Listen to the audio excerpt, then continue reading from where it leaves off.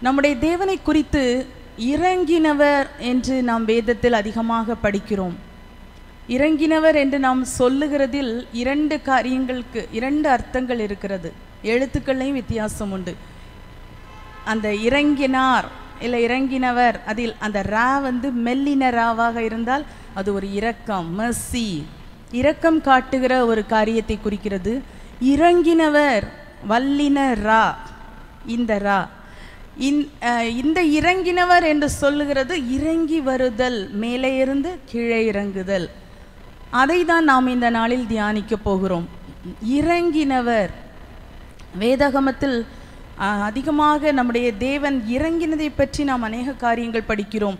பாபேல் கோபுரம் கட்டுகிற அந்த நாட்களிலே ஆண்டவர் சொல்லுகிறார் மனுபுத்திரர் கட்டுகிற நகரத்தையும் கோபுரத்தையும் பார்க்கிறதற்கு கர்த்தர் இறங்கினார். ஆதியாகம பதினொன்று ஐந்தில் நாம் இப்படியாக படிக்கிறோம். பாஷையை தாறுமாறாக்கும்படி இறங்கினார் என்று அதே அதிகாரம் ஏழாவது வசனத்தில் நாம் படிக்கிறோம். அதே போல சோதோம் குமாரா பட்டணத்தை குறித்து சொல்லும்போது எனக்கு வந்து எட்டின அந்த கூக்குரலின்படி அவர்கள் செய்திருக்கிறார்களோ இல்லையோ என்று பார்த்தறியும்படி இறங்குவேன்னு சொல்றார். ஆதியாமா பதினெட்டு இருபத்தொன்றில் நாம் படிக்கிறோம். இஸ்ரவேலருக்காக தேவன் இறங்கினதை நாம் அறிந்திருக்கிறோம். அவர்கள் படுகிற உபத்திரவத்தை பார்த்தவர் அவர்களுடைய கூக்குரலை கேட்டவர் வேதனைகளை அறிந்தவர் அவர்களை வாக்கு த- விடுதலை பண்ணி தாம் வாக்கு பண்ணின கானான் தேசத்துக்கு கொண்டு சேர்க்கும்படிக்கு இறங்கினார் என்று நாம் யாத்திராகமம் மூன்று ஏழு எட்டு வசனங்களில் படிக்கிறோம். இப்படியாக தேவனாகிய கர்த்தர் இறங்கினதை இன்னும் பல இடங்களில் நாம் பார்க்க முடியும். ஜனங்களுடைய காரியங்களை பார்க்க நியாய தீர்ப்பு நியாய தீர்ப்பின் கிரியைகளை செய்வதற்கு மேலும் தம்முடைய ஜனங்களுக்கு இரக்கம் காட்டும்படிக்கும் தேவன் இறங்கி வந்திருக்கிறார். இப்படி அநேக காரியங்கள் இருக்கிறது. அதே போல நாம் படிக்கிறோம் கர்த்தருடைய ஆவியானவர் கிதியோன் மேல் இறங்கினார். கர்த்தருடைய ஆவியானவர் சிம்சோன் மேல் இறங்கினார். இப்படி தம்முடைய தாசர்கள் மேல் தீர்க்கதரிசிகளின் மேல் கத்துடைய ஆவியானவர் அவ்வப்போது இறங்கி வந்து செயல்பட்டு மறுபடி சென்றிருக்கிற அனுபவங்களை நாம் பார்க்கிறோம். ஆனால் இதில் விசேஷமாக நாம் தியானிக்க வேண்டிய மிக முக்கியமான விஷயம் என்னவென்றால் தேவகுமாரன் மனுஷகுமாரனாக இறங்கி வந்த அருமையான விஷயம்தான். நமக்கு ரொம்ப தேவையானதும் எல்லாமே தேவைதான். ஆனால் ரொம்ப எழுத்தின்படி கூட மிக அதிகமாக தேவையானது தேவகுமாரன் மனுஷகுமாரனாக இறங்கி வந்தார். இப்போ இந்த நாட்கள் அதை நாம் அதிகமாக தியானிக்கிறோம். அறிந்தோ அறியாமலோ அநேகர் கிறிஸ்து பிறப்பை கிறிஸ்மஸ் என்று கொண்டாடுகிறார்கள். நாம் தெரிந்தவர்களும் கிறிஸ்து பிறப்பை குறித்து மகிழ்ச்சி அடைகிறோம். அந்த நாளில் நாம் அந்த நாளை விசேஷித்து கொள்ளுகிறோம். அப்போ அந்த நாளினுடைய மிக விசேஷமான அதாவது கிறிஸ்து பிறந்தார். அவர் இறங்கினார். அவர் இறங்கினார். அப்போ அவர் தேவகுமாரனாக இருந்தார்.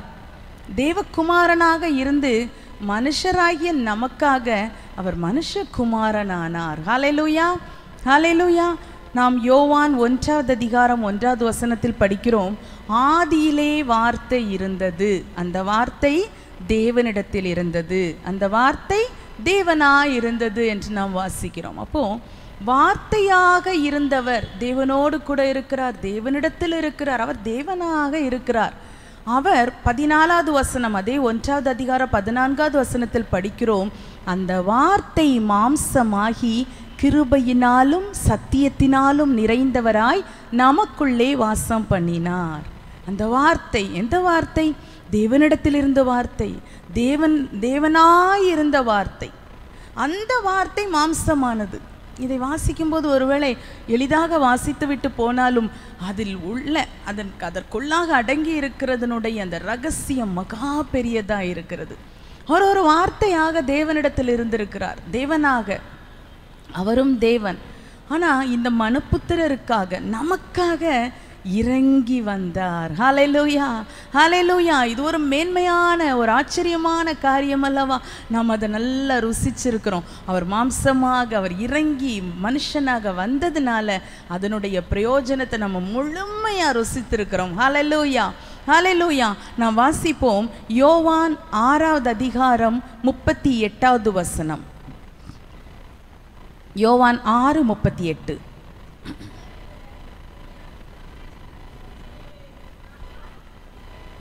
என் சித்தத்தின்படி அல்ல என்னை அனுப்பினவருடைய சித்தத்தின்படி செய்யவே நான் வானத்திலிருந்து இறங்கி வந்தேன்.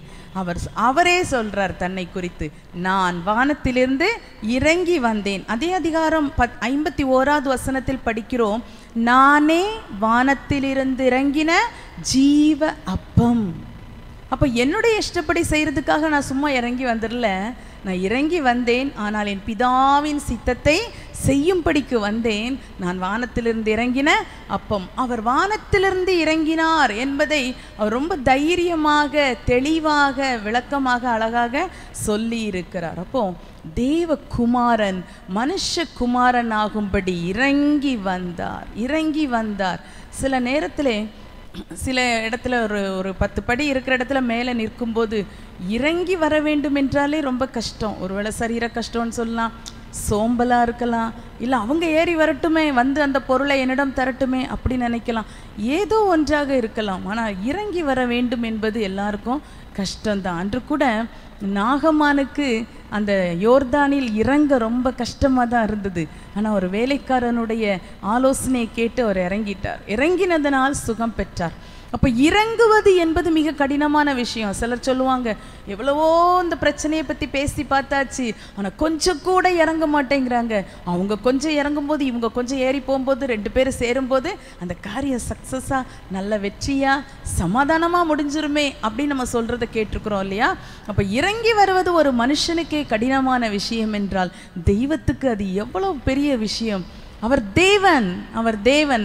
அந்த அநேகர் நினைக்கிறது சுமார் ரெண்டாயிரம் வருஷத்துக்கு முன்பாக ஒரு குட்டி பாலகனாக குழந்தையாக இயேசு வந்து பிறந்தார். எல்லார மாதிரி பிறந்தார். என்ன கன்னி மரியாள் இடத்தில் பிறந்தார்?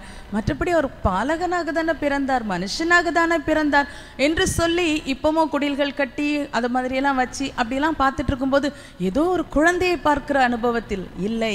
அவர் தேவனாக இருந்தவர் இந்த மனுஷனுக்காக வரும்படிக்கு இறங்கினார். இறங்கினார். இந்த வார்த்தையை நம்ம நல்ல மனதில் வைக்கணும். ஏன்னா நம்முடைய வாழ்க்கையிலும் அவ்வளோ பெரியவங்க நம்ம கிடையாது. இருந்தாலும் இந்த வாழ்க்கையிலும் அநேக நேரத்தில் இறங்குவது என்பது நமக்கு ரொம்ப கஷ்டமாக இருக்குது. சும்மா படியில் இறங்குறது மட்டுமில்ல வார்த்தையில் இறங்குறது ரொம்ப கஷ்டம். சில பெரியவங்க சொல்லுவாங்க ஏன் அவங்க சின்னவ தானே? என்கிட்ட வந்து மன்னிப்பு கேட்கட்டுமே? என்கிட்ட வந்து முதல்ல பேசட்டுமே அப்படின்னு சொல்லுவாங்க. நீங்கள் கேட்டிருப்பீங்க. அப்போ பாருங்க இறங்குதல் என்பது மிக கடினமானது. ஆனால் அதை நம்முடைய இயேசு அழகாக செய்து காட்டிட்டார். தேவகுமாரனாகிய நானே உனக்காக என் பிதாவின் சித்தம் செய்யும் படிக்கு ஒரு அப்பமாக இறங்கி வந்து விட்டேன். அப்போன்னா நமக்கு தெரியும் சாப்பிட்டு முடிச்சிட்டா ஒன்றுமே கிடையாது அதில்.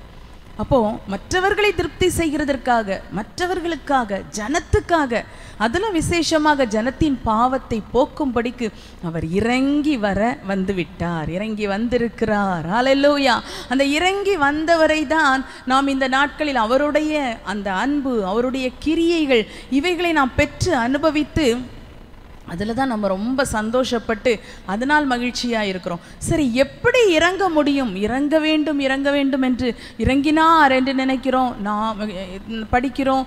நாமும் இறங்க வேண்டும் என்பது நமக்கு நல்லா தெரியும். அவர் எப்படி இறங்கினார்? இறங்கி வந்ததுக்கு ஒரு ரெண்டே ரெண்டு விஷயத்தை மட்டும் நான் சொல்ல விரும்புகிறேன். முதலாவது அர்ப்பணித்து அர்ப்பணிப்பு. அந்த அர்ப்பணிப்பு அவரை இறங்கச் செய்கிறது. இறங்குவதற்கான ஒரு அர்ப்பணிப்பு. மனசில் இறக்கம் முதல்ல வரணும்ல.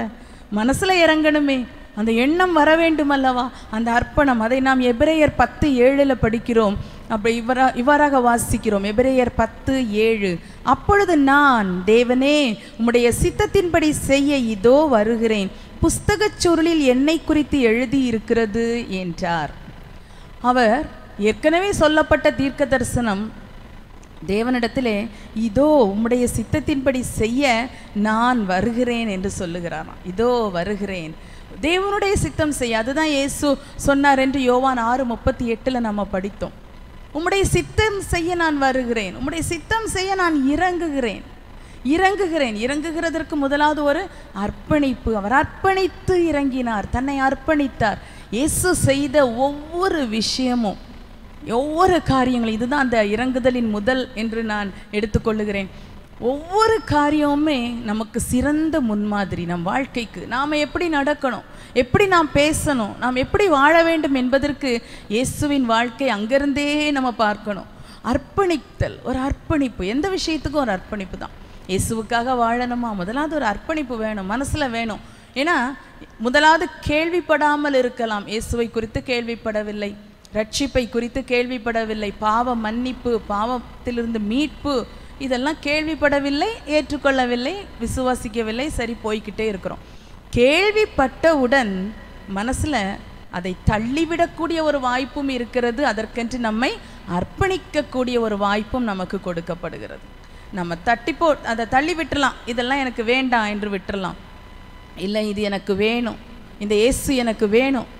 நான் இயேசுவுக்காக வாழ விரும்புகிறேன். இயேசு தருகிற பாவ மன்னிப்பு எனக்கு வேணும் என்று சொல்லி அவரிடத்துல வரவும் செய்யலாம். அன்று இயேசுவுக்கு முன்பாக புஸ்தகச் சுருளில் எழுதியிருக்கிறது என்னை குறித்து என்று சொல்லுகிறார். ஆனால் பிதா ஒரு அழைப்பை கொடுக்கும்போது இதோ நான் வருகிறேன் என்று சொல்லுகிற அந்த ஒரு அர்ப்பணிப்பு அவரிடத்திலிருந்து புறப்பட்டது அன்பானவர்களை. ஒரு அர்ப்பணிப்பு எந்த ஒரு காரியத்தை நாம் செய்ய வேண்டும் என்றாலும் அதற்கென்று ஒரு அர்ப்பணிப்பு முதலாவது நமக்கு தே வேணும். அது உள்ளத்திலிருந்து நம்முடைய வாயினால் அது சொல்லப்படுகிறது. ஆம் இந்த வாழ்க்கைக்கு என்னை நான் அர்ப்பணிக்கிறேன். இயேசு அர்ப்பணித்தார். அடுத்தது நம்ம பார்க்கிறோம் அவர் தம்மை தாழ்த்தினார். அர்ப்பணித்துட்டு நான் இங்கேருந்தே ஏதாவது தூதர்களை வச்சு செய்கிறேன் ஏதோ பண்ணிக்கிட்டு இருக்கிறேன் அப்படின்னு அவர் சொல்லலை. அந் அந்த அர்ப்பணிப்பின்படி இறங்கி வரும்படி தம்மை தாழ்த்தினார். அதை நாம் பிலிப்பிய ரெண்டாவது அதிகாரம் ஆறாவது வசனம் முதல் எட்டாவது வசனம் வரை மிக அழகாக படிக்கிறோம். அதில் இருக்குது அவர் தேவனுடைய ரூபமாக இருந்தார். தேவனுக்கு சமமாய் இருப்பதை அவர் கொள்ளையாடின பொருளாக எண்ணாமல் தம்மை தாம் வெறுமையாக்கி அடிமையின் ரூபம் எடுத்து மனுஷர் சாயலானார். மனுஷர் சாயலாய் அதாவது சிலுவையின் மரண பரியந்தம் கீழ்ப்படிந்தவராகி தம்மை தாழ்த்தினார். எவ்வளவு விளக்கமாக எவ்வளோ அழகாக இருக்குது. இந்த வாழ்க்கை இதை இயேசுவை இயேசு இறங்கினார் என்று படிக்கும்போது நம்முடைய வாழ்க்கையை அதுக்கு கூடயே கொண்டுட்டு போயிட்டே இருக்கணும். இறங்கினார் இறங்கினார். அது ஒரு ரட்சிப்பின் கிரியைக்காக இருக்கலாம். இதுவரைக்கும் ரட்சிப்பை சுதந்திரித்து கொள்ளவில்லை. பாவ மன்னிப்பு நிச்சயத்தை பெறவில்லை பாவத்திலிருந்து விடுதலை பெறவில்லை என்று இருக்கிற அன்பான சகோதரிகளே இந்த வார்த்தைகளை நீங்கள் கேட்பீர்களானால் இன்றைக்கே இந்த வார்த்தைக்கு ஏசுவின் அந்த ரட்சிப்புக்கு சுதந்திரராய் பாத்திரராய் மாறும்படி ஃபஸ்ட்டு உங்களை அர்ப்பணியுங்க. உங்களை கொடுங்க முதல்ல சரண்டர் பண்ணணும். ஆண்டவரே எனக்காக ரத்த சிந்தினீர் எனக்காக பாவம் பாவ மன்னிப்பாகிய மீட்பை உண்டு பண்ணி வைத்து விட்டீர் அதனால் நான் அதை நீ ஏற்றுக்கொள்கிறேன் எனக்கு அது வேணும் என்று சொல்லி அதற்காக அர்ப்பணிக்கணும். அர்ப்பணித்து இருப்பது போல் இருந்தால் போதாது. தேவகுமாரனாகிய இயேஸ் தேவகுமாரனும் அர்ப்பணித்தார். அர்ப்பணித்து கொண்டு பிதாவோடு கூட வார்த்தையாக இருந்து கொண்டே இருக்கவில்லை. நான் முதல்ல படித்தோம்ல யோவான் ஒன்றாவது அதிகாரம் ஒன்றாம் வசனத்தில் ஆதியிலே வார்த்தை இருந்தது. அந்த வார்த்தை தேவனிடத்தில் இருந்தது. அந்த வார்த்தை தேவனாய் இருந்தது. அவர் தேவனாய் இருந்து அப்படியே இருந்துக்கிட்டு அர்ப்பணித்தேன் என்று சொல்லி இருந்து விடவில்லை இது நமக்கும் சிறந்த முன்மாதிரி. நாம் இருப்பது போல வாழ்வது போல இருந்து கொண்டு நான் எல்லாம் விட்டுட்டேன் நான் எல்லாம் அர்ப்பணிச்சிட்டேன் நான் எல்லாமே ஆண்டவருக்கு அர்ப்பணிச்சிட்டேன் அப்படின்னு நம்ம இருந்தோம் என்றால் அதனால் பெரிய அதனால் ஒரு பிரயோஜனமும் இல்லை. தேவகுமாரனும் அர்ப்பணித்தவர் இறங்கி வந்தார். இறங்கி வரனா தாழ்த்தினார் தாழ்த்தினார். நாம் தாழ்த்துவதெல்லாம் மிக சாதாரணமான விஷயம் செய்ய வேண்டிய விஷயம். ஆனால் ஒரு தேவ குமாரன் மனுஷனாக மனுஷகுமாரனாக தன்னை தாழ்த்த வேண்டும் என்று எந்த அவசியமும் இல்லை. ஆனால் பிதாவின் சித்தத்தை நிறைவேற்ற வேண்டும் என்பதற்காக மனுஷருக்கு வானத்திலிருந்து இறங்கின அப்பமாக ஜீவன் கொடுக்கும் அப்பமாக பிழை போட்டுகிற அப்பமாக மாற வேண்டும் என்பதற்காக அவர் தன்னை தாழ்த்தி இறங்கினார். ஹலலோயா ஹலலோயா தாழ்த்தினார் தாழ்த்தினார். அது அப்படியே தியானித்து பாருங்க அந்த வார்த்தை. தாழ்த்தி இறங்குவது சாதாரண விஷயம் இல்லை. வானத்திலிருந்து தாழ்த்தி இறங்குவதென்றால் நாம் சாதாரணமாக ஒரு வசதியான ஒரு குடும்பத்தில் எல்லா நன்மைகளும் எல்லாம் இருக்கிற ஒரு குடும்பத்திலிருந்து ஒருவர் கத்தோடைய ஊழியத்துக்கோ மிஷினரியாகவோ இறங்கி வரும்போது நாம் அதை எவ்வளவு மேன்மையாக சொல்லுகிறோம். இந்த உலகத்தின் எல்லாவற்றையும் விட்டு ஆடம்பரங்கள் மேன்மையான சொகுசான வாழ்க்கையை விட்டு இறங்கி ஆண்டவருக்காக ஊழியம் செய்கிறார்கள் என்று ஆண்டவர் இயேசு எங்கே இருந்து இறங்கினார்? பரலோகத்தில் இருந்து இறங்கினார். அவர் சொல்கிறார் "நான் வானத்தில் இருந்து இருந்து இறங்கினேன். நான் வானத்துக்குரியவன் நீங்கள் பூமிக்கு உரியவர்கள் அப்போ வானத்துக்கு உரியவராகிய அவர் பூமிக்குரியவர்களாகிய நமக்காக வானத்திலிருந்து இறங்கினார். அவருடைய வாசஸ்தலத்தை பற்றி நம்ம கொஞ்சம் கொஞ்சம் கொஞ்சம் எல்லா இடங்களையும் படிக்கிறோம். ஆனால் அதைவிட கண்கொள்ளாத மிக அதிசயமான மேன்மையான மகிமையான இடம் தான் அந்த பரம வாசஸ்தலம். அந்த பரலோகத்திலிருந்து அவர் இறங்கினார். முதல்ல அவருடைய பிதாவை விட்டு இறங்கி வந்தார். அப்பாவை விட்டு இறங்கி வந்து எப்பவும் அந்த பிதாவின் சமூகத்தில் செல்ல பிள்ளையாக இருந்தேன் என்று நீதிமொழிகள் அதை நம்ம படிக்கிறோம். பிதாவோடு கூட இருந்தவர். எப்போ தூதர்களுடைய துதிகள் மத்தியில் இருந்தவர் துதிக்கிற துதி எப்பவும் அந்த ஆராதனை துதி ஏறெடுக்கப்பட்டு கொண்டே இருக்கும். அங்கே எப்பவும் மகிழ்ச்சி நிரம்பி இருக்கும். நமக்கு தெரியும் அங்கே இரவு பகல் வித்தியாசம் கிடையாது. இரவு கிடையாது. அங்கே ரொம்ப ஒரு மகிழ்ச்சியாக இருக்கும். அந்த இடமெல்லாம் ஒரு ஆசீர்வாதமான இடம். இதை விட எல்லாவற்றை விட மிக முக்கியமாக ஒரு பரிசுத்தமான இடம். பரிசுத்த ஸ்தலம். அங்கே ஒரு பாவம் செய்கிறதுக்கு எத்தனைத்த அந்த பாவம் செய்த தூதர்களை கூட அந்த பரிசுத்த ஸ்தலத்திலிருந்து தள்ளி விட்டுட்டார். அவ்வளோ பரிசுத்தமான ஒரு இடம். அப்படி ஒரு மேன்மையான இடத்திலிருந்து மிக மிக மோசமான பாவத்திற்கும் பாவத்திற்கு காரணியான பிசாசுக்கும் அடிமைப்பட்ட இந்த பூமியிலே இந்த பூமிக்குரியவர்களாகிய நம் மத்தியிலே ஏசு வந்து இறங்கினார். ஹலலூயா அப்போ எவ்வளோ தாழ்த்தி தம்மை தாழ்த்தி இறங்கினார். பிலிப்பியர்ல அதுதான் நிருபக்காரன் மிக அழகாக விவரித்து சொல்லியிருக்கிறார். அதை நம்ம பார்த்தோம். அவ்வளோ மேன்மையை விட்டு தம்மை தாம் தாழ்த்தி அப்போ அப்பா சொன்னதுக்கு கீழ்ப்படிந்து தாழ்த்தி இறங்கினார். ஹலலூயா ஹலலூயா இன்றைக்கு அன்பான தேவ பிள்ளைகளே உங்களில் எத்தனை பேர் பிதாவாகிய தேவன் குமாரனா குமாரனுக்கு சொன்ன வார்த்தைக்கு அவர் தட்டாதபடி கீழ்ப்படிந்து இறங்கி வந்தது போல எத்தனை பேர் நீங்க போய்க்கொண்டிருக்கிற வாழ்க்கையிலிருந்து அவருக்காக இறங்கி வருகிறீர்கள். ஒரு நாள் இயேசு எரிகோவின் வீதியிலே ஒரு காட்டத்தி மரத்தின் மேல் இருந்த சகையுவை அழைத்த போது சகையு சீக்கிரமா இறங்கி வந்தான். சீக்கிரமா இறங்கி வந்துட்டான். அவரை வீட்டுக்கு அழைத்து கொண்டு சென்றான். அப்போ இறங்கி வந்தவர் இந்த பூமியில் இருக்கிற நம்மையும் கூட நாம் வாழுகிற வாழ்க்கையின் மத்தியிலே இறங்கி வர வேண்டும் என்று விரும்புகிறார். ஹலல்லூயா ஹலல்லூயா இறங்கி வருவதற்கு முதலாவது அர்ப்பணிப்பு. சகையும் மேலே இருந்துட்டு ஆண்டவரே நான் இயேசுவை உங்களை பார்க்கணும்னு தான் நான் ஆசையா இருந்தேன். நான் பார்த்துட்டேன். அப்படின்னு அவர் சொல்லலை. உடனே அந்த சத்தத்துக்கு உடனே கீழ்ப்படிந்து இறங்கினார்.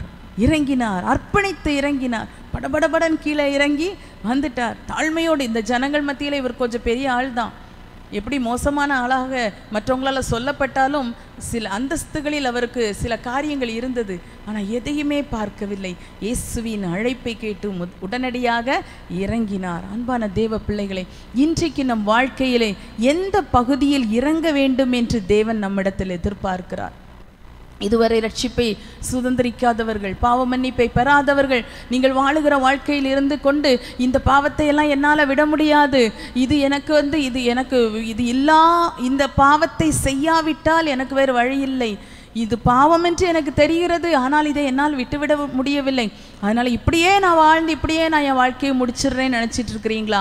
இல்லை உங்கள் பாவங்களை உங்களை விட்டு விலக்கவும் மேற்குக்கும் கிழக்குக்கும் எவ்வளவு தூரமோ அவ்வளோ தூரமாய் விலக்கி விடுவார். இயேசுவண்டை வந்து விட்டால் இயேசுவின் இரத்தத்தால் உண்டான பாவ மன்னிப்பை நீங்கள் விசுவாசித்தீர்களானால் அந்த நேரத்திலே பாவத்தை விட்டுவிடும்படியான அது எப்படி ஒரு கிருபை என்றே சொல்ல முடியாது. அந்த பாவம் பிறகு யோசிச்சு பார்த்தாதான் ஓ நான் இதுக்கு தான் இவ்வளவு அடிமையா இருந்தேனா?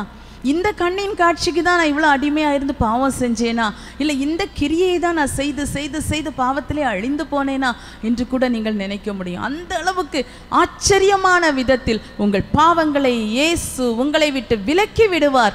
அதற்காகத்தான் அவர் பரலோகத்தில் இருந்து இந்த பூலோகத்துக்கு இறங்கி வந்தார். சும்மா இறங்கி வரல. சும்மா இறங்கி வரல. பிதாவின் சித்தத்தை செய்யும்படி வந்தேன் என்று வந்தார். பிதாவின் சித்தம் என்ன? பிதாவின் சித்தம் பிதாவின் சித்தம்னு அவர் சொல்கிறார் என்ன பிதாவின் சித்தம்? ஒரு நாள் பிதாவாகிய தேவன் மண் மண்ணை கையில் எடுத்து மனுஷனை உருவாக்கினார். உருவாக்கி அவர்களை வைத்துவிட்டு அவர் ஒவ்வொரு நாளும் பகலின் குளிர்ச்சியான வேளையிலே வந்து தோட்டத்தில் உலாவி அவர் தான் உருவாக்கின மனுஷரோட பேசிகிட்டு இருப்பார். அவ்வளோ மகிழ்ச்சியாக பேசி உறவாடி இருந்தவர் ஒரு நாளில் மனுஷன் செய்த பாவத்து நிமித்தம் மனுஷன் தேவனாகிய கர்த்தரை சந்திக்க முடியாதபடி ஒழித்து கொண்டான். அதற்கு பிறகு அந்த மனுஷனோடு அவர் நேரடியாக வந்து பண்ண முடிய பேச முடியல உறவாட முடியவில்லை. சில நேரங்களில் ஆபரகாமோட சிநேகிதனை போல பேசினார் மோசையோட பேசினார் இப்படியெல்லாம் பேசினாலும் அவருடைய ஆசை இதோ மனுஷர்கள் மத்தியிலே தேவனுடைய வாசஸ்தலம் இருக்கிறது. அந்த ஒரு நேரம் அவருக்கு வரணும். இப்போ நம்ம ஆவியின்படி நம்முடைய நம்மத்தியில் அவர் இருக்கிறார். ஆனால் ஒரு நாள் அவரோடு கூட நாம் வாழுகிற நாட்கள் வரும். அந்த நாள் வர அப்படி ஒரு நாள் வரணும். அப்படி ஒரு ச சந்திப்பு ஏற்படணும். எதற்காக நான் இந்த மனுஷனை உருவாக்கினேனோ? என்னோட கூட பேசணும் என்னோட கூட பழகணும் நான் அவனோட கூட பேசணும் உறவாடணும். இந்த ஒரு அல்டிமேட் அந்த நோக்கம். அதுதான் அந்த தேவனுடைய திட்டம். மனுஷன் நான் உருவாக்கின மனுஷன் என்னோட கூட இருக்கணும். அதில் அவர் அந்த அந்த ஆசை அந்த முயற்சி அதில் தேவனாகிய கத்தர் சோர்ந்து போகலை. பல பல பல கிரியைகளை செய்தார். நேரடியாக வந்து பேசும்போது அப்புறம் பாவத்தினால் முறிந்து விட்டது. அப்புறம் பலிகளை ஏற்படுத்தினார். ஆனால் ஒவ்வொரு நேரம் பலி செலுத்தி பலி செலுத்தி மனுஷன் திருப்பி திருப்பி பாவம் செஞ்சான். அதுக்கு தான் ஒரு குறிப்பிட்ட நாளிலே தன் குமாரன் மூலமாக அந்த சித்தத்தை நிறைவேற்றும்படி திட்டம் கொண்டார். அதை குமாரன் ஏற்றுக்கொண்டார்.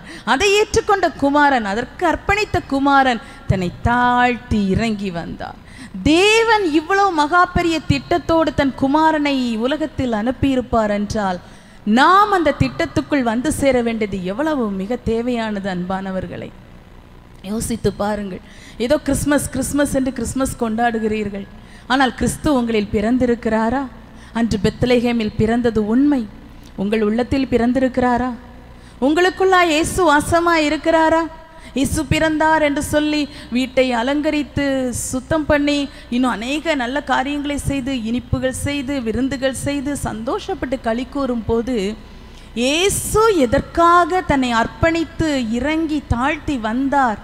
அதன் மூலம் அவர் என்ன சம்பாதித்து வைத்தார்? என்ன நன்மை? நாம் ஒரு காரியத்தை கொண்டாடுகிறோம் என்றால் அதனுடைய ஒரு நன்மையை நாம் நிச்சயம் பெற்றிருக்க வேண்டும் அல்லவா ஒரு காரியத்தை நம்ம ரொம்ப சந்தோஷப்படுறோம் கொண்டாடுறோம். ஏன் இவ்வளோ சந்தோஷப்படுறீங்கன்னு கேட்டால் என்ன சொல்லுவோம்? இயேசு பிறந்தாருன்னு சும்மா சொன்னால் போதுமா? இயேசு பிறந்தார் உண்மைதான். ஆனால் இயேசு என் உள்ளத்தில் பிறந்தார் என்பதுதான் மிக விசேஷமான காரியம். இதுவரைக்கும் நீங்கள் ஒருவேளை இயேசுவை உங்கள் உள்ளத்தில் பிறக்க இடம் தரவில்லை என்றால் இந்த நாளில் இந்த நாளிலே அதற்கென்று உங்கள் உள்ளத்தை திறவுங்கள். அந்த பரலோகத்தில் இருந்து பூலோகத்தில் இறங்கி வந்து தன்னை மனுஷனாக அர்ப்பணித்து பிறந்த இயேசு அவர் செய்து வைத்த அந்த பாவ பரிகாரம் அதை அந்த அதை அனுபவித்து அதன் மூலமாக இயேசுவை உள்ளத்தில் ஏற்றுக்கொள்ளுங்கள். ஹalleluya ஹalleluya இயேசு நம் உள்ளத்தில் பிறந்தார் என்பதுதான் நமக்கு மிக விசேஷமான காரியம். இயேசு பிறந்தார் என்பது மிக விசேஷம்தான். ஆனால் அதைவிட மிக விசேஷம் இயேசு என் உள்ளத்தில் பிறந்தார். ஹalleluya ஹalleluya ஒரு பாடல் ஒரு சிறிய கோரஸ் நம்ம பாடலாமா? அன்று பிறந்தாரி இயேசு பெத்தலகேமிலே. நேற்று பிறந்தாரே இயேசு எந்த உள்ளத்திலே? இன்று பிறக்க விரும்புகிறார் உந்தன் உள்ளத்தில். இன்று பிறக்க விரும்புகிறார் உந்தன் உள்ளத்தில். நீயும் விரும்பினால் உனக்கு சமாதானமே. நீயும் விரும்பினால் உனக்கு சந்தோஷமே. நீயும் ஏற்றுக்கொண்டால் உனக்கு ரட்சண்யமே இயேசு என்று இப்பொழுது தந்திடுவாரி. உனக்கு தந்திடுவாரி. உனக்கு தந்திடுவாரி. அன்று பிறந்தாரி இயேசு பெத்தலகீமிலே. நேற்று பிறந்தாரி இயேசு எந்த நுள்ளத்திலே இன்று பிறக்க விரும்புகிறார் உந்தன் உள்ளத்தில். இன்று பிறக்க விரும்புகிறார் உந்தன் உள்ளத்தில். நீயும் விரும்பினார் உனக்கு சமாதானமே. நீயும் நெருங்கினால் உனக்கு சந்தோஷமே. நீயும் ஏற்றுக்கொண்டால் உனக்கு ரட்சண்யமே இயேசு இன்று இப்பொழுதே தந்திடுவாரே. உனக்கு தந்திடுவாரே உனக்கு தந்திடுவாரே. ஹலலுயா ஹலலுயா இறங்கி வந்த தேவகுமாரன். மனுஷகுமாரனாக மாறினார். ஹலலூயா ஹலலூயா அவர் எப்படி வந்தார் என்று நமக்கு நன்றாக தெரியும். ஒரு கன்னிகையின் வயிற்றிலே உற்பத்தியாகி பிறந்தார். தன்னை தாழ்த்தினார். தேவன் அவர் எப்போனாலும் எங்கேயும் இருக்க முடியும். எல்லா இடத்துலையும் இருக்க முடியும். ஆனால் ஒரு தாழ்மைக்கு தன்னை ஒப்பு கொடுத்தார். தாழ்த்தினார் என்று சொல்லும்போது ஒரு மனுஷனாக வாழ தன்னை தாழ்த்தினார். நமக்கு நல்லா தெரியும். நம்ம இங்கே நின்னா இங்கே இருந்தால் இன்னைக்கு இந்த கூட்டத்தில் தான் அட்டன் பண்ண முடியும். நம்ம இன்னொரு இடத்துல இருக்க முடியாது. அதுக்கு போகணும்னா நடந்து போகணும் ஏதாவது வாகனத்தில் போகணும். நமக்கு சில கஷ்டங்கள் உண்டு. அதே போல் வியாதி பசி தாகம் தூக்கம். நான் சொன்னேனே பரலோகத்தில் தூதர்களுடைய துதி ஓயாத துதி ஓயாத துதி. தன்னை உயர்த்த நினைத்த பாவம் செய்த அந்த தூதர் கூட்டத்தையே தள்ளிவிட்டார். அப்போ அங்கே எதிர்ப்பே இல்லை. எப்பவுமே துதி தான் ஸ்தோத்திரம் ஆராதனை தான் அங்கே நடந்துக்கிட்டே இருக்குது. ஆனால் இந்த பூலோகத்தில் இறங்கி வந்தாரே தன்னை தாழ்த்தி வந்தாரே இங்கே அவருக்கு என்ன கிடைத்தது? பிசாசுகளின் தலைவன் என்று சொன்னார்கள். பெயல்சபூலினால் பிசாசுகளை துரத்துகிறார் என்று சொன்னார்கள். கொன்று போட வேண்டும் என்று சொன்னார்கள். மலையில் மலை உச்சியில் கொண்டு போய் அவரை கீழே தள்ளிடணும்னு பிளான் பண்ணாங்க. கடைசியில் சிலுவையிலே அரைஞ்சிட்டாங்க. அப்போ எப்போதும் அவருக்கு ஒரு எதிர்ப்பான சூழ்நிலை. இது வந்து ஒரு மென்டல் டென்ஷன்னு சொல்லலாம். எப்போ பார்த்தாலும் அவர் செய்வதெல்லாம் நன்மை. அவர் சொல்லுவதெல்லாம் நல்ல வார்த்தைகள் உபதேசங்கள் சுவிசேஷம் ஆறுதலான வார்த்தைகள் ஓமைகள் மூலம் பரலோக ராஜ்யத்தை குறித்தே சொல்லி கொடுத்துடுறார். என்னெல்லாம் எவ்வளோ காரியங்கள் சொல்லி கொடுக்கிறார். இதெல்லாம் கேட்டாலும் ஒரு கூட்டம் அவரை அவரை தன்னை தாழ்த்தி இறங்கினார். தேவ குமாரன் துதிகளின் மத்தியில் வாசமாக இருக்கிறவர் தன்னை தாழ்த்தி இறங்கி வந்ததினால் பிதாவின் சித்தம் நிறைவேற வேண்டுமே என்ற ஒரே நோக்கத்தோடு இந்த பாவிகளாகிய மனுஷருக்கு நான் ஜீவ அப்பமாக பிழைப்போட்டுகிற அப்பமாக வாழ்வளிக்கிற வார்த்தையாக இருக்க வேண்டுமே என்கிற அதுக்குள்ள தன்னை அடக்கி கொண்டு தன்னை தாழ்த்தி வெறுமையாக்கி அதுக்குள்ளே கொண்டு அடக்கிட்டார். அது வரைக்கும் அவர் தேவன். தேவனாய் இருந்தார் தேவகுமாரனாய் அவர் மகிமையாய் இருந்தார் மேன்மையாய் இருந்தார் அதையெல்லாம் விட்டு விட்டு பிலிப்பியரில் அப்படிதான் வாசித்தோம் அதெல்லாம் விட்டு விட்டு எதை குறித்து பெருமையான ஒரு சின்ன விஷயம் கூட வைக்காம எல்லாம் விட்டு தன்னை தாழ்த்தி ஒரு மனுஷன் மனுஷ பிறவிக்குள்ளாக மனுஷனுக்குள்ளாக ஒரு மனுஷனாக ஒரு குழந்தையாக ஒரு மனுஷியின் கருவுக்குள்ளாக தன்னை அவ்வளவு தாழ்த்தி விட்டார். தாழ்மையின் அந்த அச்சம் கடைசி என்று சொல்லலாம். அந்த எக்ஸ்ட்ரீம் எவ்வளோ பயங்கரமாக இருக்கிறது. அப்போ அப்படிப்பட்ட தேவகுமாரனான அந்த இயேசு மனுஷனாய் வந்து நமக்காக செய்து முடித்த அந்த ரட்சிப்பின் கிரியை பெற்றுக்கொண்ட அந்த மேன்மையை அந்த பாவ மன்னிப்பு அந்த பரிசுத்த வாழ்வை பெற்றுக்கொண்ட நாம் எவ்வளவு இறங்க வேண்டும்? இறங்க வேண்டும் தானே? நாம் இறங்க வேண்டுமா? நாம் எவ்வளவோ இறங்க வேண்டும். இந்த வார்த்தைகள் நமக்குள்ள இருந்ததுன்னா இயேசு பிதாவின் சித்தத்தை செய்யணும்னு தான் இவ்வளவு அடக்கி இருந்தார் நானும் அப்படிதான். ஆண்டவரே நான் உங்களோட வந்து உம்மோட வாழ வேண்டும் என்று தான் உங்கள் குமாரனை எனக்கு தந்து ரட்சிப்பை தந்தீர் வழியை திறந்தீர். அப்போ எப்போனாலும் நீங்கள் கூப்பிடும்போது உங்களோட வந்து நான் வாழலாம். அதுக்கு தகுதியாக நான் இருக்கணும்னா என்னை இன்னும் தாழ்த்த கிருபத்தார் ஆண்டவரே. அவருடைய பிறப்பின் செய்திக்குள்ள எவ்வளோ பெரிய விஷயத்தை அடக்கி வைத்திருக்கிறார். இதை நாம் சுதந்திரித்துக் கொள்ள வேண்டும் என்று நாம் அழைக்கப்படுகிறோம். ரட்சிப்பை சுதந்திரித்தால் மட்டும் போதாது. பாவத்திலிருந்து மன்னிப்பு பாவ மன்னிப்பு பாவத்திலிருந்து மீட்பு ஒரு பரிசுத்த வாழ்வை பெற்று வாழ்ந்தால் மட்டும் போதாது. இறுதி வரை இறுதி வரை இறுதி வரை ரட்சிப்பை சுதந்திரிக்கிறவர்களாக நாம் இருக்கணும். இதற்கு பாத்திரவான்களாய் நடந்து கொள்ளணும். அவர் தாழ்த்தி இறங்கினார். அவரின் நன்மைகளை பெற்றுக்கொண்ட நானும் தாழ்மையாய் வாழ்வேன். ஹலலூயா ஹலலூயா அந்த ஒரு எண்ணத்தோடு நாம் இருக்க வேண்டும் வாழ வேண்டும் என்று கர்த்தர் நம்மிடத்தில் எதிர்பார்த்து அதற்கான ஒரு மாதிரியே அவர் நமக்கு வைத்திருக்கிறார். எதற்காக அவர் வந்தார்? எதற்காக வந்தார்? நம்ம எப்படி இறங்கினார்னு பார்த்தோம். அர்ப்பணித்து இறங்கினார் தன்னை தாழ்த்தி இறங்கினார். எதற்காக வந்தார்? பிதாவின் சித்தம் செய்ய வந்தார். அந்த பிதாவின் சித்தம் தான் என்ன? தன்னை விட்டு விலகி போன மனுஷ மனுக்குலத்தை தன்னண்டையில் மறுபடி சேர்க்க வேண்டும். பாவிகளை ரட்சிக்க கிறிஸ்து இயேசு உலகத்தில் வந்தார். பாவிகளை ரட்சிக்கும்படி வந்தார். நம்ம அந்த அவருடைய பிறப்பில் தூதர் கூட்டம் ஒரு பாடின அந்த ஒரு நற்செய்தியை நம்ம படிக்கிறோம். இதோ எல்லா ஜனத்துக்கும் மிகுந்த சந்தோஷத்தை உண்டாக்கும் நற்செய்தியை உங்களுக்கு அறிவிக்கிறேன். நற்செய்தி. குட் டைடிங் நற்செய்தி. ஒரு நல்ல ஒரு பரிசு நமக்கு கிடைத்தா எவ்வளோ சந்தோஷமாக இருக்கும். இப்போல்லாம் பார்த்தா ஆனிவர்சரியிலலாம் பரிசு வாங்கி பிள்ளைகளுக்கு அவ்வளோ பெரிய சந்தோஷம். பரிசு வாங்கின உற்சாகத்தில் ராத்திரி சாப்பிட கூட மறந்து போயிடுறாங்க பிள்ளைகள். அவ்வளோ உற்சாகம். பாருங்கள் அந்த பரிசே அவ்வளோ சாப்பாட்டை மறக்க பண்ணுற அளவுக்கு சந்தோஷத்தை கொடுக்குதுன்னா ஆண்டவர் பிறப்பு அந்த நல்ல நல்ல செய்தி பிறப்பினால் நமக்கு கிடைத்த நற்செய்தி பாவ மன்னிப்பாகிய மீட்பு பரிசுத்த வாழ்வு இதுதானங்க இப்போ ரொம்ப வேணும் இந்த உலகத்தில். அப்போ அந்த நற்செய்தியை பெற்றுக்கொண்ட நமக்கு அது மிகப்பெரிய சந்தோஷம். மட்டுமல்ல இந்த நாட்களில் அநேக வியாதிகள் பலவீனங்கள் கஷ்டங்கள் இவைகளை போக்கும்படியாக நம்முடைய வியாதிகளை பலவீனங்களை சிலுவையிலே இயேசு சுமந்து தீர்த்தார். அப்போ அவர் இறங்கி வந்ததினால் நம் பலவீனங்கள் வியாதிகளை அவர் சிலுவை மரத்திலே சுமந்து தீர்த்தார். வந்து விடுகிறது.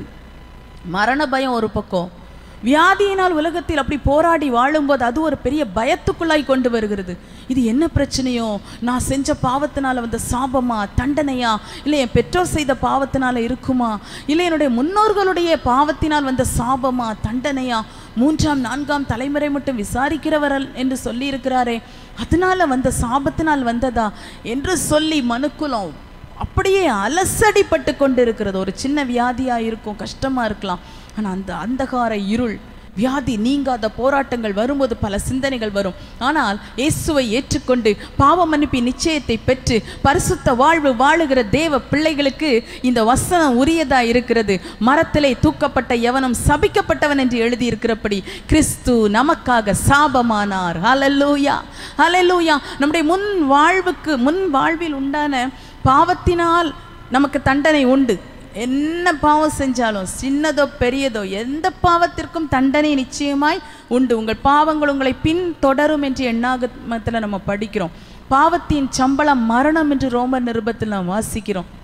ஆனால் எந்த ஒரு மனுஷ ஆத்துமா இயேசுவின் இரத்தத்தின் மூலம் வருகிற பாவ மன்னிப்பை விசுவாசித்து இயேசு என் தமது இரத்தத்தினால் என் பாவத்தை மன்னித்தார். நான் என் பாவத்தெல்லாம் நான் அறிக்கையிடுகிறேன். என் மன்னிப்பை பெற்றுக்கொள்ளுகிறேன்.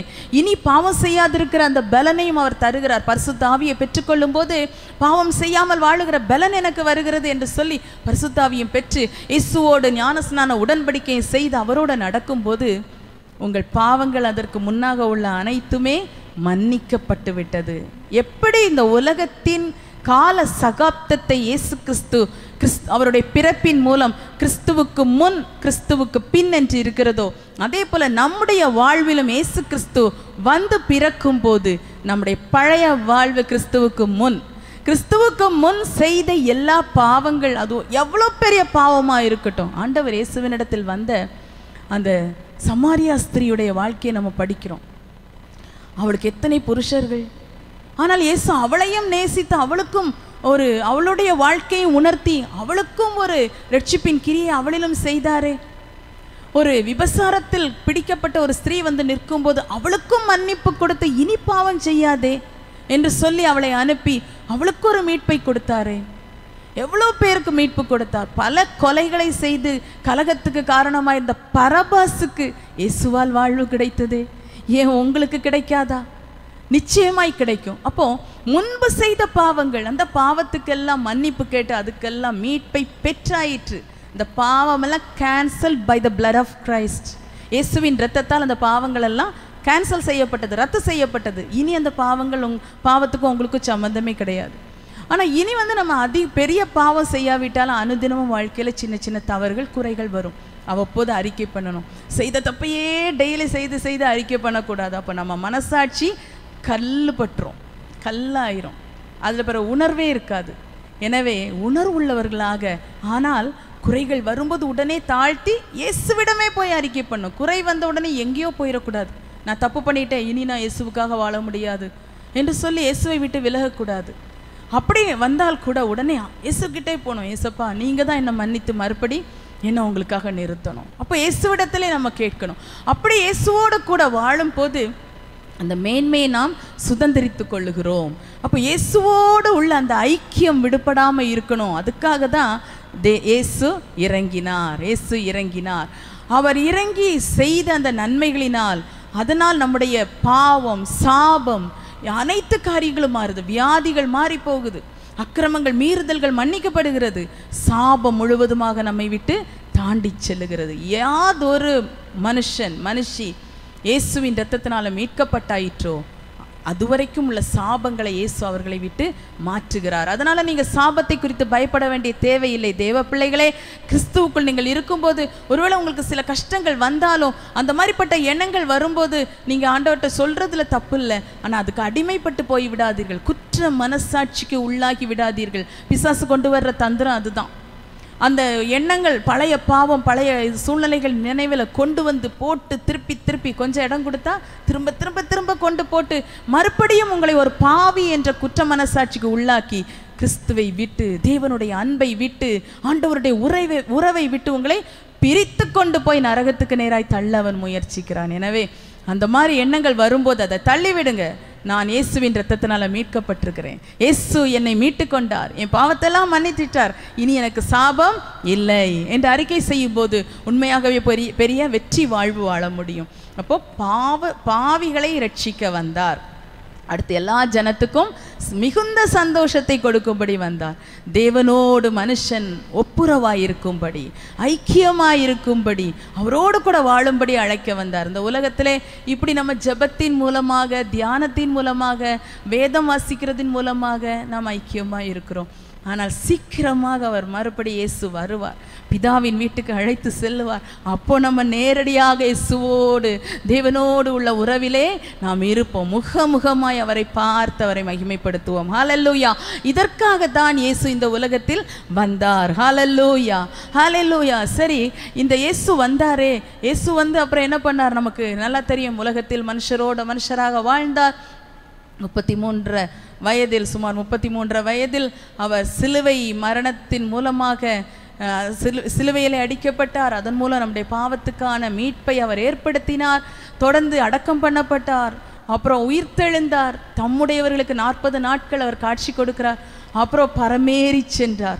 ஏறி போனவர் சும்மா இருக்கல. அதுக்கு முன்னாடியே சொல்லிட்டார். நம்ம படிக்கிறோம். யோவான் சுவிசேஷத்துலலாம் அவர் அதிகமாக அதை சொல்லியிருக்கிறார். யோவான் பதின் யோவான் சுவிசேஷத்தில் நம்ம அதை படிக்கிறோம். இயேசு சொல்லும்போது நான் போய் தேற்றரவாளனை உங்களுக்கு அனுப்புவேன் என்று சொன்னார். அப்படி பரிசுத்தாவியானவரை அனுப்பி இப்போ பரிசுத்தாவியானவர் மூலமாக நமக்குள்ளாக கிரியை செய்து கொண்டு இருக்கிறார் இந்த இயேசு அப்போ என்ன பண்ணிட்டு இருக்கிறார்? பரலோகத்தில் ஏறி போய் பரலோகத்தில் போகும்போதே அவர் போ முன்னாடியே சொல்லிட்டார். யோவான் பதினான்கு ரெண்டாவது வசனத்தில் படிக்கிறோம் என் பிதாவின் வீட்டில் அநேக வாசஸ்தலங்கள் உண்டு. நான் உங்களுக்காக ஒரு ஸ்தலத்தை ஆயத்தம் பண்ண போகிறேன் என்று சொன்னார். ஆயத்தம் பண்ணி கொண்டு இருக்கிறார் நமக்காக வாசஸ்தலங்களை ஏசு ஆயத்தப்படுத்துகிறார். ஹalleluya ஹalleluya அந்த உலகத்தில் வீடுகளை கட்டுகிறோம். குடியிருக்கும்படி நீங்கள் வீடுகள்லாம் கட்டுறீங்க. ஆட்களை வைத்து கட்டுறீங்க. நீங்கள் போய் பார்க்குறீங்க. எல்லாம் செய்கிறீங்க ஆனால் ஆண்டவர் கட்டுகிற இயேசு கட்டுகிற வாசஸ்தலம் கையால் கட்டப்படாதது. ஹலலூயா ஹலலூயா நாம தான் இங்கேருந்து இன்வெஸ்ட் பண்ணிக்கிட்டே இருக்கணும். உங்கள் பொக்கிஷங்களை பரலோகத்தில் சேர்த்து வையுங்கள். நித்திய வீடுகளில் உங்களை ஏற்றுக்கொள்வார் உண்டாகும்படி அநீதியான உலகப் பொருளால் சிநேகிதரை சம்பாதிங்கள் அப்போ இங்கேருந்து தான் நம்ம அந்த காரியங்களை செய்யணும். ஆ இயேசுவும் நமக்காக பல காரியங்களை செய்திருக்கிறார் செய்து கொண்டு இருக்கிறார் மட்டுமல்ல ஒன்றியோவான் ரெண்டாவது அதிகாரம் ஒன்றாவது வசனத்தில் படிக்கிறோம். நமக்காக பரிந்து பேசி கொண்டிருக்கிறார். பிதாவின் வலது பரிசத்தில் போய் இப்போ உட்கார்ந்துருக்கிறார். அங்கேருந்து என்ன பண்ணுறாரா நமக்காக பரிந்து பேசுகிறார். அப்போ ரெண்டு முக்கியமான விஷயங்கள். நமக்காக பரிந்து பேசிக்கிட்டே இருக்கிறார். நம்மிடத்தில் குறைவுகள் வரும்போது தவறுகள் குற்றங்கள் வரும்போது அந்த மாதிரி நேரங்களெல்லாம் பிதாவின் கோபம் நம்மேல் வரக்கூடாது என்பதற்காக குமாரன் தன்னை அவருக்கு முன்பாக காண்பித்து நமக்காக பரிந்து பேசுகிறார். மட்டுமல்ல அந்த ஒரு நாள் வரும் அன்று தன் பிதாவின் வீட்டில் நம்மை அழைத்து செல்வதற்காக வாசஸ்தலங்களை ஆயத்தம் பண்ணி கொண்டிருக்கிறார். ஹாலல்லூயா எவ்வளோ மகிமையான ஒரு கிரியை அவர் இறங்கினார் என்றால் சும்மா இல்லை. ஏதோ இறங்கினார் வந்தார் போனார் என்று இல்லை இறங்கினார் ஏறினார் என்று சொல்லிவிட முடியாது. இறங்குதலில் மகா பெரிய ரகசியங்களை அவர் மேன்மைகளை செய்து நமக்கு தந்துவிட்டு போயிருக்கிறார். இன்னும் ஒரு காரியத்தை மட்டும் சொல்லிவிட்டு நம்ம ஜெபிக்க போகிறோம். இந்த இறங்கினார் ஆனால் இவர் இன்னும் ஒரு தடவை கூட இறங்கி வர இருக்கிறார். நாம் ஒன்று தெஸ்லோனிக்கேயர் நான்கு பதினாறு பதினேழில் தான் அதை மிக அழகாக படிக்கிறோம். ஒன்று தெஸ்லோனிக்கேயர் நான்கு பதினாறு பதினேழு. ஏனெனில் கத்தத்தாமே ஆரவாரத்தோடும் பிரதான தூதனுடைய சத்தத்தோடும் தேவ எக்காலத்தோடும் வானத்திலிருந்து இறங்கி வருவார். அப்பொழுது கிறிஸ்துவுக்குள் மறித்தவர்கள் முதலாவது எழுந்திருப்பார்கள். பின்பு உயிரோடு இருக்கும் நாமும் கத்தருக்கு எதிர்கொண்டு போக மேகங்கள் மேல் அவர்களோடே கூட ஆகாயத்தில் எடுத்துக்கொள்ளப்பட்டு இவ்விதமாய் எப்பொழுதும் கர்த்தருடனே கூட இருப்போம். அலலுயா ஹalleluya ஹalleluya அன்று அவர் தேவகுமாரனாக இருந்து மனுஷகுமாரனாக இறங்கி வரும்போது நம்முடைய கண்கள் அவரை கண்டதில்லை. நாம் அவரை பார்க்கல. அவர் எப்படி இருப்பாருன்னு நமக்கு தெரியாது. எப்படி இருந்தாருன்னு தெரியாது. இப்போ எதேதோ ஃபோட்டோ அப்படிலாம் இருக்கும். ஆனால் அப்படிலாம் கிடையாது. அவர் எப்படி இருந்தார் என்று பார்க்கவில்லை. நாம் நேரடியாகவும் பார்க்கவில்லை. ஆனால் நமக்கு ஒரு வாய்ப்பை தருகிறார். நம் அப்போ சிலர் முதலாவது அதிகாரத்தில் அழகாக இப்படி ஒரு வசனத்தை நம்ம படிக்கிறோம். ஒன்றாவது அதிகாரம் பதினொன்றாவது வசனத்திலே நாம் படிக்கிறோம். கலிலேராகிய மனுஷரே நீங்கள் ஏன் வான வானத்தை அண்ணார்ந்து பார்த்து நிற்கிறீர்கள்?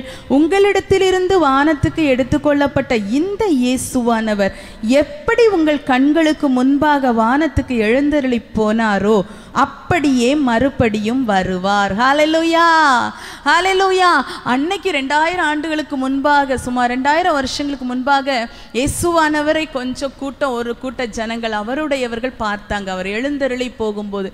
அப்போ அப்போ இந்த வசனம் சொல்லப்படுது எப்படி எழுந்தருளி போனாரோ இந்த இயேசுவானவர் இந்த இயேசுவானவர். அவர் எப்படி போனாரோ மறுபடி அப்படி வரப்போறாராம். மறுபடி வரும்போது நான் தமக்காக காத்து கொண்டிருக்கிற மணவாட்டி கூட்டமாகிய சபையை தன்னோடு சேர்த்து கொள்ளும்படிக்கு மணவாளனாக இயேசு வருகிறார். ஹalleluya நாம் இருக்கிற இடங்கள்ல எழுந்து நிற்போமா? அவருடைய சமூகத்துல நிற்போம். இறங்கினவர் இறங்கினவர் இறங்கினவர். நமக்காக இறங்கி வந்தாரே. நமக்காக இறங்கி வந்தாரே. அந்த ரட்சிப்பை அவர் சம்பாதித்து வைத்த இறங்கி வந்து தன்னை அர்ப்பணித்து தாழ்த்தி இறங்கி வந்து சம்பாதித்து வைத்த ரட்சிப்பை நாம் பெற்று இன்னைக்கு எவ்வளோ மகிழ்ச்சியா வாழுகிறோம். இனி எவ்வளவோ பேர் பெற்றுக்கொள்ள வேண்டியது இருக்கிறது. இந்த ரட்சிப்பை பெற்று அந்த மேன்மைகளை அந்த சுதந்திரங்களை ஆசீர்வாதங்களை பலனை பெற்று வாழுகிற நாம் கொஞ்சம் ஒரு அடி பாடி நம்ம அவருக்கு ஒரு சின்ன ஆராதனை செலுத்திடுவோமா? ஹலலூயா ஹலலூயா பொன்னகர் மன்னன் பூவில் வந்தாரே புல்லணை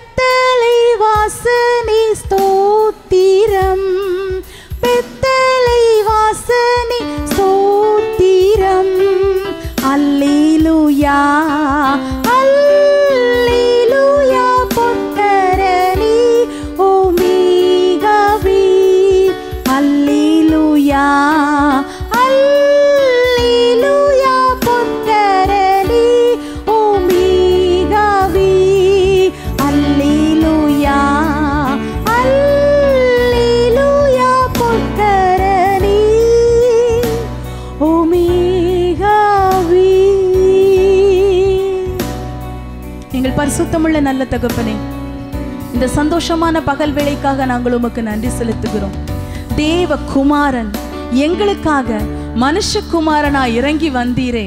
அதனுடைய மேன்மை அதனுடைய நன்மைகள் அதனுடைய ஆச்சரியமான அம்சங்களை எங்கள் வாழ்வில் பெற்றுக்கொள்ளும்படி எங்களுக்கு நீர் வாய்ப்பு கொடுத்தீரே அப்பா. உமக்கு ஸ்தோத்திரம் செலுத்துகிறோம். அப்பா இந்த உலகத்தில் எண்ணிறந்த ஜனங்கள் இன்னும் உம்முடைய இறங்கி வந்ததின் மகிமையை மகத்துவத்தை பெற்றுக்கொள்ளவில்லையே. அந்த நன்மைகளை அவர்கள் இன்னும் அனுபவிக்கவில்லையே. அந்த ரட்சிப்பை அவர்கள் இன்னும் பெற்றுக்கொள்ளவில்லையே அப்பா. அப்பா அந்த ஜனத்துக்கு இந்த மகிழ்ச்சிகரமான நாட்களிலே அதை நீங்க கொடுங்க ஆண்டவரே. கிறிஸ்து பிறந்தார் கிறிஸ்து பிறந்தார் என்று கொண்டாடி மகிழுகிறவர்களில் பலருக்கு இந்த கிறிஸ்து வாழ்வில் பிறக்கவில்லையே தகப்பனே. அந்த கிருபையை கொடுங்க. உங்க பிரசன்னமாகுதலை கொடுங்க. ஒரு விசை இதோ எல்லா ஜனத்துக்கும் மிகுந்த சந்தோஷத்தை உண்டாக்கும் நற்செய்தியை உங்களுக்கு அறிவிக்கிறேன் என்று அந்த அறிவிப்பு நற்செய்தியின் அறிவிப்பு எல்லா ஜனத்துக்கும் பிரகடனப்படுத்தப்படட்டும் அப்பா. உன்னதத்திலே மகிமையும் பூமியிலே சமாதானமும்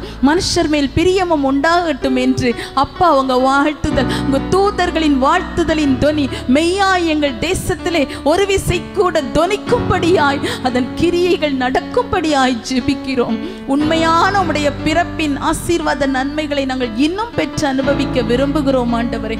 தொடர்ந்து எங்களை ஆசீர்வதியும். இந்த மகிழ்ச்சியின் நாட்களிலே உம்முடைய ஜனம் இன்னும் உமக்குள்ளாக மகிழ கிருபை கொடுப்பீராக. எல்லா ஜனத்துக்கும் சந்தோஷம் உண்டாக நீர் உதவி செய்யும். சீக்கிரமாய் மறுபடியும் நீர் இறங்கி வர இருக்கிறீர் அதற்காக ஸ்தோத்திரம் அப்பா. உடைய இறங்கி வருகிற வருகிற அந்த வர வரவுக்காக நாங்கள் ஆவலாய் காத்து கொண்டிருக்கிறோம் தகப்பனை. எங்களை குற்றமற்றவர்களாக பழுதற்றவர்களாக மாசற்றவர்களாக உம் முன்னிற்கும்படியாக ஆவியானவர் எப்போதும் தகுதிப்படுத்த எங்களை அர்ப்பணித்து நிற்கிறோம். தொடர்ந்து நடத்தும். உடைய மகிழ்ச்சியும் சமாதானமும் சந்தோஷமும் சுகமும் நன்மைகளும் உம் ஜனத்துக்கும் அனைவருக்கும் உண்டாகும்படி ஜெபிக்கிறோம். ஆசீர்வதியும் பலப்படுத்தும். இயேசுவின் மூலம் கேட்கிறோம் ஜீவனுள்ள நல்ல பிதாவே ஆமேன். என் ஆத்துமாவே கத்தரை ஸ்தோத்ரி என் முழுமே அவருடைய பரிசுத்த நாமத்தை ஸ்தோத்ரி என் ஆத்துமாவே கத்தரை ஸ்தோத்ரி அவர் செய்த சகல உபகாரங்களையும் மறவாதே. ஆமேன் ஆமேன். ஹலே லூயா ஹலே லூயா ஹலே லூயா கத்தர் உங்கள் ஒவ்வொருவரையும் தம்முடைய மகிழ்ச்சியினால் நிரப்புவாராக. ஆமேன் ஆமேன்.